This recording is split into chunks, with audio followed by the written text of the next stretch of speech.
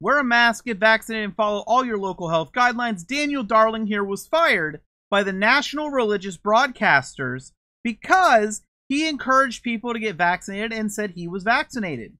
This group fired the man for speaking out that he believes it's Christian to get vaccinated. We are committed to fighting for the right of Christian communicators to speak freely and truthfully without fear of censorship. They fired this man for saying that it protects others because he didn't sign a letter admitting he was insubordinate. This group fired a man for speaking the truth while complaining that Christians are being censored.